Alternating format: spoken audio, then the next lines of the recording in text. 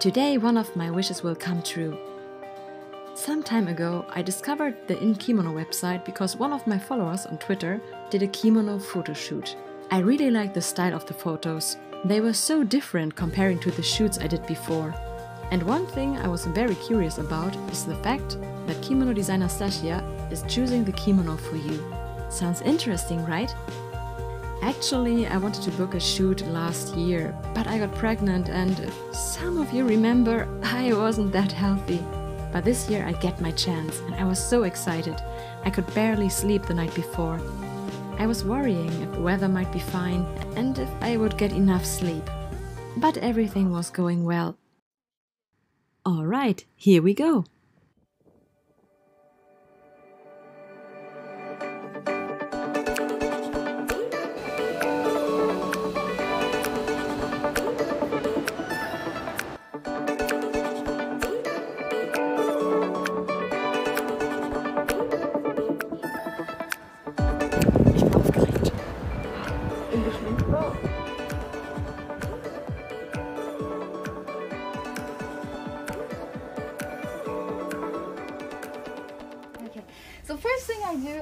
Just explain what I prepared. Okay. Nothing is final. So like, if you think, oh my god, I will wear this, like I want something else. It's fine, yeah. Because look, I mean, I have a lot of stuff, so. Oh. It's just something that I chose based on what you said, and also I checked your YouTube, so kind of like daily fashion, so Oh, rather like lots of pastels. If pastel and floral, then in my mind it's automatically formal kimono. So this is a formal kimono, yeah, it's a Yeah. homongi. I have some other ones like this. This one is cute, but it's not floral. This one I have never used. It has like gold. So just take a look, yeah, at uh, the formal ones that I have. This one also has some kind of discoloration somewhere there, but it's okay. It's not gonna be visible at any point. So.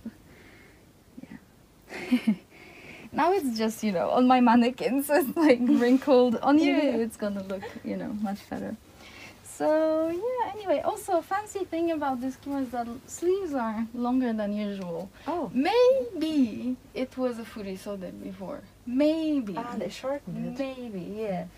So here also we have a peony. This is very cute. So this embroidery is called Sagaranui, I think. Yeah, so this is a really fancy uh, type of embroidery. yeah. this is So this kind of kimono is called yuzen, so it's painted by hand. Well, color, we can make it fancy, we can make it just plain, but I think why not fancy? Uh, I like this because like it works color-wise, yeah? Yeah, This one like would work as well. Mm-hmm. So it's like baby blue. Baby blue one. This one would look cute as well, yeah? And adds a little bit of like different color, you know what I mean? Yeah, actually, I prefer the phoenix one. This is Yeah. really good. Oh, okay, okay, I like cool. this one. No problem. Yeah. And then as for uh, obiage, this thing I bought it in Kyoto the other day, and it's so cool. I love it. It's great. Yeah. So you're okay with this, yeah? Yeah, 'Cause This one's absolutely. like so funky. I love it. Seriously, love at first sight. If you want to funky things up, I would leave it as it is because it's like interesting enough already. Yeah. But like if you want something in the middle Oh, cute. then we we can still use it but in a different way yeah so it will be like this and like this Ah, like this. this one. is the same type of embroidery as the kimono it's called sagaranui yeah it's up to you okay. No, it's completely, completely perfect. perfect i'm very glad Very okay awesome.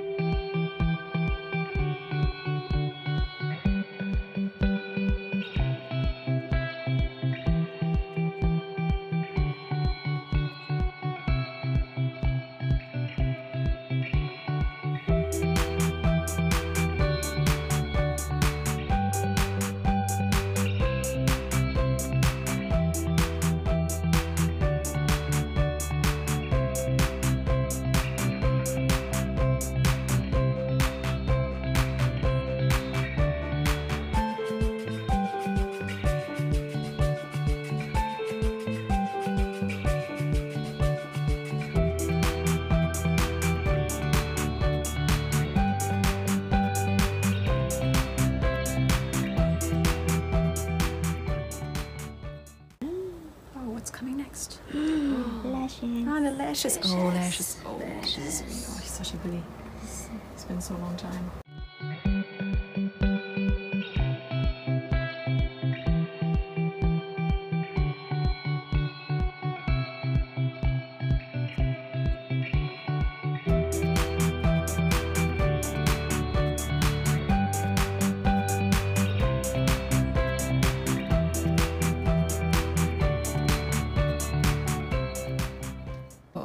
Oh, oh, now is the moment of The big moment. Oh, oh, oh, oh. Nervous. Oh my god. Oh, oh, oh. oh.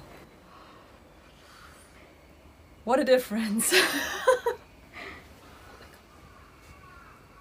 Do we like that? Oh I'm so happy. Oh yeah! Oh Yeah, I saw a little This bit is of the eye so makeup. great. Beautiful. This is so Yeah. awesome. Your brows, your Yeah, eyes yeah. pop. I, I'm, I'm sorry, I will hire her. Okay. yeah, I'm good.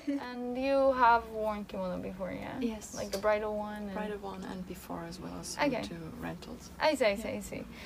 Okay, okay, I see. So you might have an idea about kimono, Yeah. more or less. Um, but probably there is, I mean, not probably, but yeah, definitely, there's much more to kimono than usually people realize or people think about kimono. So most people think, oh yeah, kimono is really flashy and floral and you put flowers in your hair. Not really. not really. It's not really how it works, especially with casual kimono. Oh. Think of kimono as clothing that you're wearing right now, just Mhm. like Western clothes. That's it. This is exactly how it works. So when it's colder, you wear um, more layers. You wear a top coat, you wear a scarf or something. Yeah. When it's hotter, of course, you wear some natural fabrics or something thin, something airy. Yes. There are very very casual types of kimono. Then semi-formal, formal. And very special kimono worn only for special occasion, like the bridal kimono that you wore. Yeah. Furisode, for example. Kurotome sode that mothers wear for wedding, yeah? And then summer kimono, not yukata. But yeah, summer kimono uh, is usually see-through or sheer. This one is not yeah. completely see-through, it's sheer, yes. So this is one type of fabric, it's very thin. So the patterns, yeah, I said it's like super flashy and flowers basically, yeah. The thing is, in case of casual kimono, floral patterns are rare because they limit you to particular season. So these are types of different types of kimono for women. I'll explain each one separately, but I just show you for quick comparison how many types there are for men. Only four, basically. so like, sorry guys. So this is my favorite. It's the most like shogekiteki. Oh, So I'll, I'll show you how it's done, yeah? Because I, I tried it, yeah? So it's spread on fabric. I think it's this way, yeah? It's spread on fabric. Then it's like uh, secured in different spots. And then you have a spatula and you Wow. do it this way throughout this whole length, yeah? Mhm. And then you get rid of the stencil, yeah? And you're left with these little spots covered with rice paste. You know, you see it and you think, "Oh, okay, I see the borderline. But you know in your mind that it was done by human hands. That's the point. That's the taste, you know? If it's too perfect, it has no soul, let's say. Yeah. Yeah. It's machine made, it's printed, yeah? so the inside of a men's haori is always fancy. There's always some idea to it, okay? Women's haori also exists, and sometimes it does have a nice lining. Uh, here, maybe. Mm, but it's not a must, really. Yeah, it's that's just, I mean, we have it, so we might make it fancy while we're at it. But for men, it's there's an idea, there's a concept.